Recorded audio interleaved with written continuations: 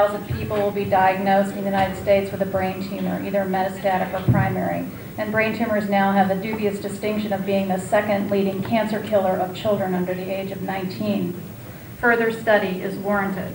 In fact, the International Agency for Research on Cancer has decided to conduct a nine-country study of whether cell phones cause brain tumors. While it's not clear at this moment whether cell phones cause brain tumors, what is clear is the growing public concern. I'd really like to speak. I worked in the industry for two and a half years, and I was diagnosed with a brain tumor in February of 1999. I was a specialist, a, a cellular specialist, and known and recognized in the industry. If you had any problems, go take it to that girl.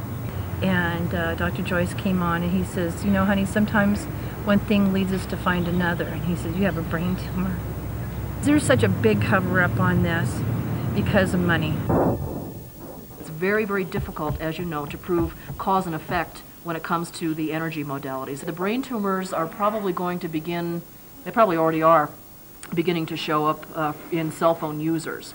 It's going to take probably 10 to 15 years for it to show up in um, those who live near the cell towers, more than likely. And then it's going to take another two years to gather the data. It's going to take another three years for peer review. It's going to take another four years to end up in the journals. So we're 20 years away from holding this industry accountable. In the meantime, you do the math, there's billions of dollars at stake there that they're going to rake it, and they very cynically know how long it's going to take to prove this. The industry has in fact engaged in the research and it's funded a tremendous amount of research since the early 90s. And what does that research indicate? The research indicates that there is no significant scientific uh, nexus between the use of cellular phones and a variety of different uh, health effects that have been investigated, Senator. I would just like to highlight one issue that has not been raised to date, and that is that every federal agency that has examined this issue has determined, and I quote, uh, that the scientific evidence does not demonstrate any adverse health effects associated with the use of mobile phones. And that statement is from the FDA as recently as October of 1999. The FDA has said, after all these years, that they can't certify that the technology is safe or not safe. It seems to me when you've got 25,000 of these cell phones being purchased a day, the fact that the FDA cannot certify them as safe should be cautionary.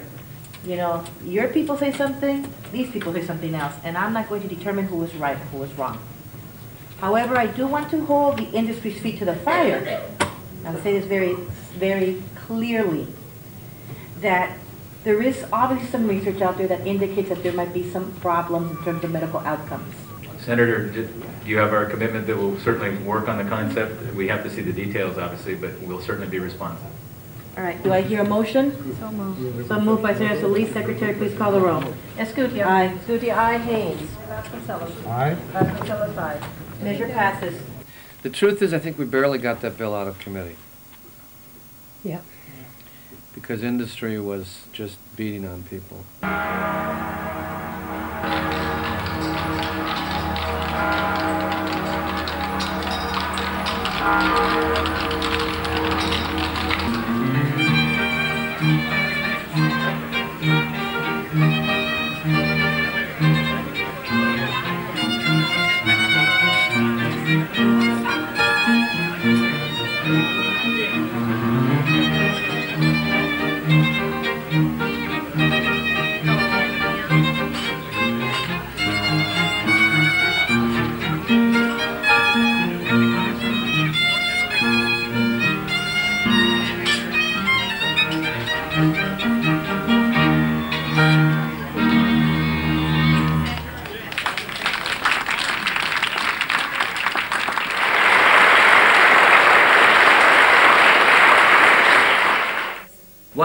Hopes for the conference was to bring together scientists from all over the world as well as public health experts.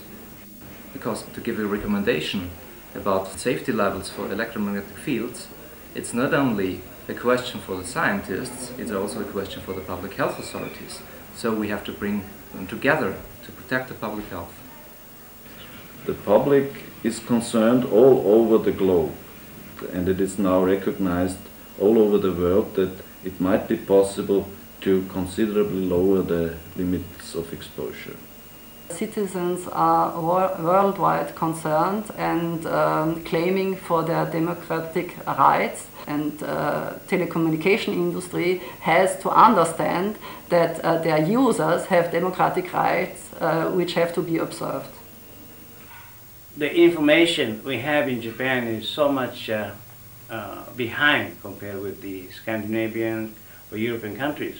And at the moment, uh, about 46% of population, which is 57 million people using mobile phone, now are quickly penetrating into younger generation. And even at the moment, high school students are using this mobile phone. At the pace we are, we are increasing, then in the future, the younger generation in 10 years' time will be damaged.